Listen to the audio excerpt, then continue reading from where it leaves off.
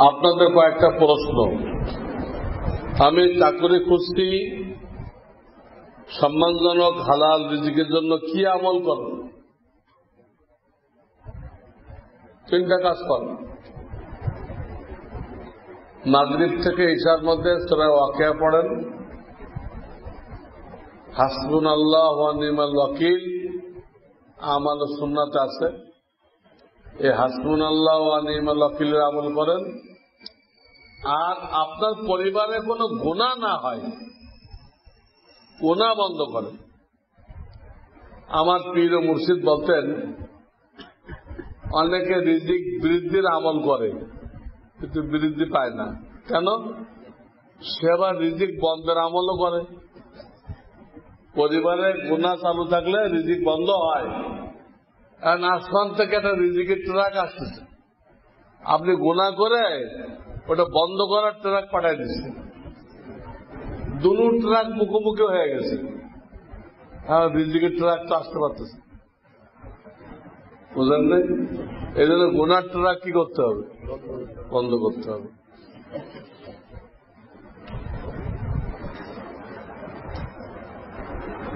স্বামী স্ত্রীর সহবাস হয়েছে এমন বিছানায়, অথবা নাকি?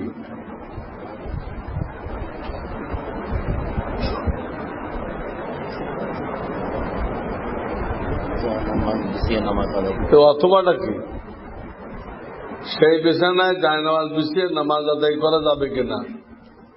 যেখানে সহবাস হয়েছে সেইখানে যে বিছানায় কোনো নাপাক না লাগে, সেই বিছানায় তো করা যাবে, নামাজ। যে বিছানায় সহবাস হলো সহবাস হলে কি নাপাক হয়ে যায়? নাপাক লাগতে হয়। তো শরিয়াত যেভাবে শিখাইছে, তাতে নিজের কাপড়ও লাগার কথা না, নিচের কাপড়ও লাগার কথা না। তো না জানলে তো সব ল্যাপটাই লেগে তো কে দায়ী?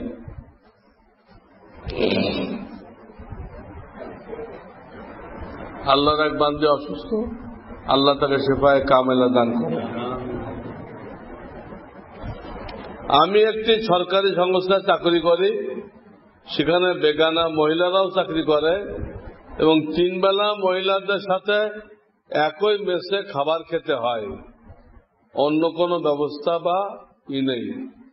এমনকি প্রতিদিন একটি রুটিন রুটিন কাজে কুকুরের মতো প্রাণীকে মানুষের কাতারে দাঁড় করানো হয়। আমার জন্য শরীয়তের বিধান কি? যাই করেন না করেন, শরীয়ত বলে গোনার সাথে করা যাবে না। যাই করেন করেন। কিন্তু গোনা ছাড়া করতে হবে। সারাদিন বেগানা মহিলাদের সাথে হ্যাঁ? আর তাদের দিকে নজর চলে যায়। গুণা না। নজরের হেফাজত করতে পারলে তো ঠিক আছে। যে হেফাজত করতে পারে না তার এই চাকরি ছেড়ে দিতে হবে।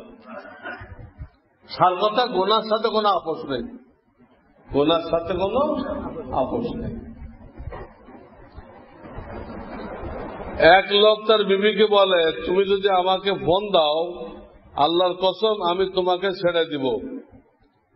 পরে তার বিবি তাকে এক, দুই দিন পর ফোন দেয়। কিন্তু ওই লোক তাকে তালাক দেয় নেই। এখন কি করণীয়? দিতে চাইছিল দেয় নাই, কিন্তু ভালো করছে। তালাক দিতে চাইছিল, পরে দেয় নাই। তালাক দিতে দেয়, না দেওয়া কোনো খারাপ কাজ না। তালাক দেওয়াটা নিকৃষ্ট কাজ। কিন্তু ভালোই করছে। আল্লাহ শুক্রিয়া আদায় করুন।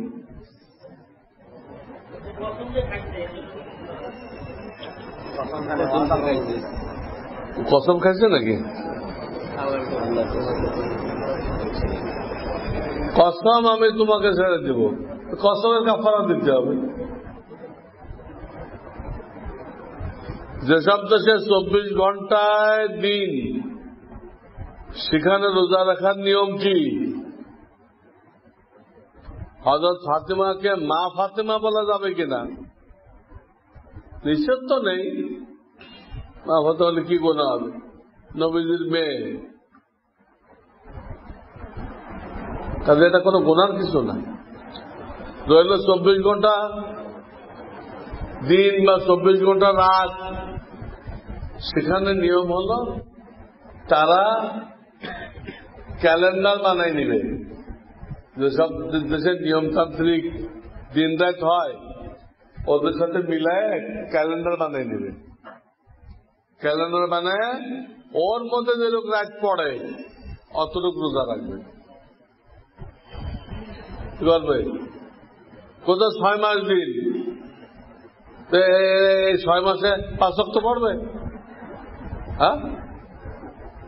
ছয় মাস দিন না ছয় মাস রাত? ছয় মাসে, ছয় মাসের নামাজ পড়তে হবে। কেমনে? ক্যালেন্ডার বানিয়ে দিতে হবে। ওই অনুযায়ী জোহর, আসর, মাগরেব ঈশা দিন আছে ঠিক ঈশাও হইতে আছে। দিনও আছে ঈশাও হইতে আছে। দাজ্জাল যখন আসবে, দাজ্জাল, তখন তো পয়লা দিন এক বছরের মতো হবে। কি? পয়লার দিনটা এক বছরের মতো হইলে একদিনের নামাজ পড়া হবে না এক বছরের পড়া হবে? তো কেমনি পড়বেন?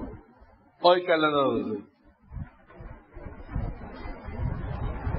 সুন্নত তরিকায় নতুন বাড়ি করার নিয়ম কি? এবং বাড়ির নকশা কেমন হওয়া উচিত? বাড়ির নকশার ভিতরে প্রত্যেক রুমের সাথে বাথরুম থাকবে। প্রত্যেক রুমের সাথে কি থাকবে? বাথরুম থাকবে। এবং মেহমানখানার সাথে তাদের প্রয়োজনীয় সব থাকতে হবে। মেহমান কোন প্রয়োজনের জন্য ভিতরে ঢুকতে না হয়।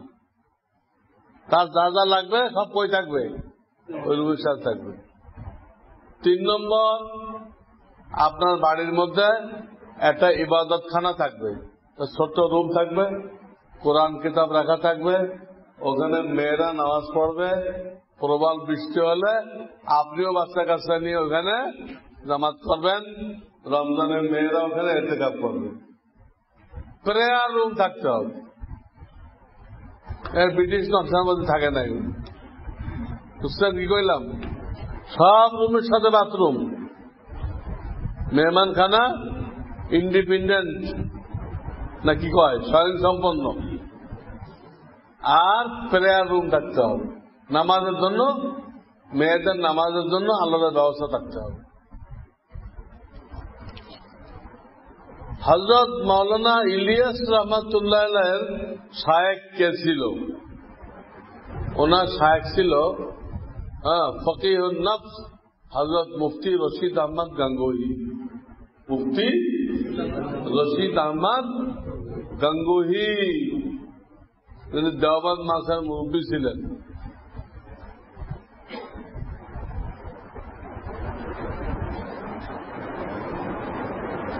কি লিখছে তো। উনি আগে ওখানে আত্মশুদ্ধি করেছেন। ইলিয়াস রহমতুল্লাহ আগে আত্মশুদ্ধি করেছেন, তারপরে দাওয়াতের কাজে নামছেন। মসজিদের অপকৃত জায়গায় সেলুন দিয়ে হিন্দুদেরকে ভাড়া দেওয়া যায় কিনা? সেলুনে দাড়ি কাটবে না?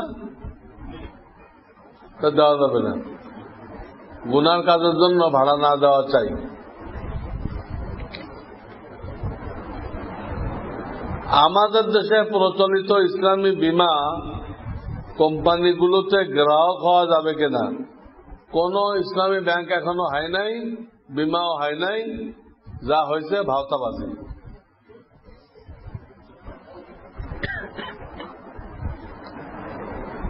লোকমুখে শোনা যাচ্ছে, ইমাম মাহাদি পাঁচ থেকে দশ বছরের মধ্যে আত্মপ্রকাশ করবেন। একথার সত্যতা কতটুকু? আমার কিছু জানা নেই এই ব্যাপারে। উনি পাঁচ থেকে দশ বছরের মধ্যে আত্মপ্রকাশ করবেন, করতেও পারে, নাও করতে পারে, কিন্তু আমার এই ব্যাপারে কি নেই? যাদের কাস্ট হয়, তারা কাজটা বুঝতে পারে।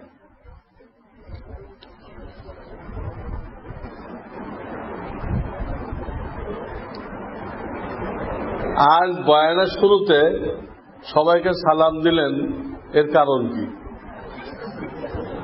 তার মানে আগে কোনোদিন সালাম দিয়ে নাই? হ্যাঁ? বয়ানের শুরুতে আগে কোনোদিন সালাম দিয়ে নাই?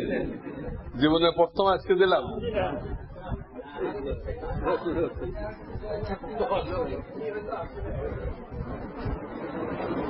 আগেও তো দিছি আমি। তবে জুমার খুদ্বার শুরুতে সালাম দেওয়া যাবে না। ওটা ইবাদত। ওটা কি?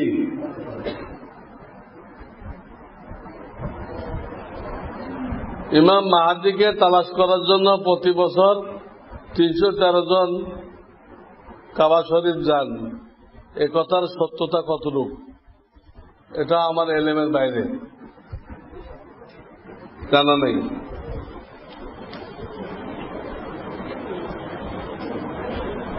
মোহাম্মদ কদর চান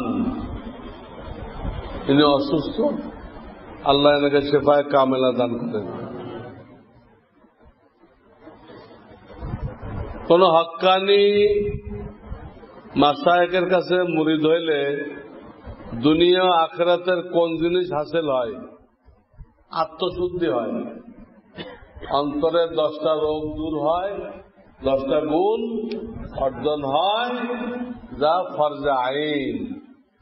শরীরের রোগের চিকিৎসা করা সুন্নত। এই নিয়েতে করলে সব পাবেন।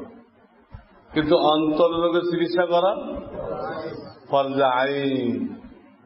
পীর মাসাকদের কাছে গেলে এই খরচটা আদায় হয়। কোন টাকা পয়সা বাড়ে না। বরকত তো হবে।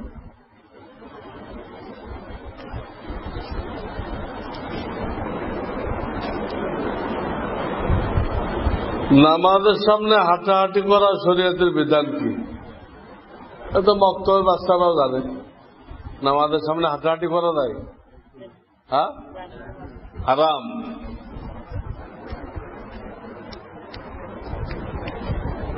প্রচলিত নিয়ম অনুযায়ী ঢাকা শহরে ফ্ল্যাট, মর্গেজ নেওয়া কি জায়েজ? মর্গেজ নেওয়া মানে বন্ধক নেবে? কি, মর্গেজ কি? ফ্ল্যাট বন্ধক নিবে? বন্ধক নিয়ে থাকবে সেখানে? ভাড়া দিবে না? হ্যাঁ? তাহলে কয়েক লাখ টাকা দিল যে তার কাছে ভাড়া নিয়ে ওখানে ফ্রি থাকবে। হারাম। তাদের কয়েক লাখ টাকা দিলেন না করজ না? এটা কর্জ কিনা? হাদিস কর্জ দিয়ে যে বেনিফিট নেওয়া হয়, এটা সুদ। কর্জের সব হলো, দানের সব হলো দশ গুণ, আর কর্জ দিলে তার সব হলো বিশ গুণ ডবল কর্জ দিতে হবে ডবল সবের জন্য। উনি ভাড়া ছাড়া থাকবেন, তো হারাম হয়ে গেল।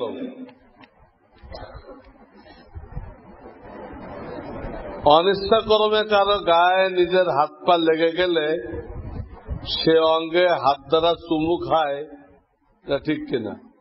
চুমু খাওয়ার দরকার নেই তাদের ভাই, কিছু মনে করবেন না। একদম আপসাই নিল। কারও গায়ে পাও লাগলে সেটু বিরাক্তই হয়, তাই না? এই লোকটা কি অন্ধ নাকি? আমার পাড়ায় পড়াই গেল এরকম। একদম আপসাই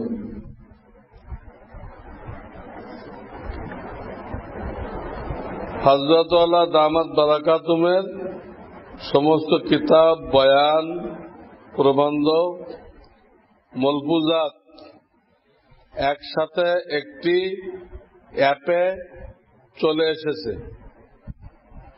ইসলামী জিন্দগি নামে নাকি? তো আপনার অ্যাপের মধ্যে দেখে নিন, নাকি একবার ডাউনলোড করতে হবে।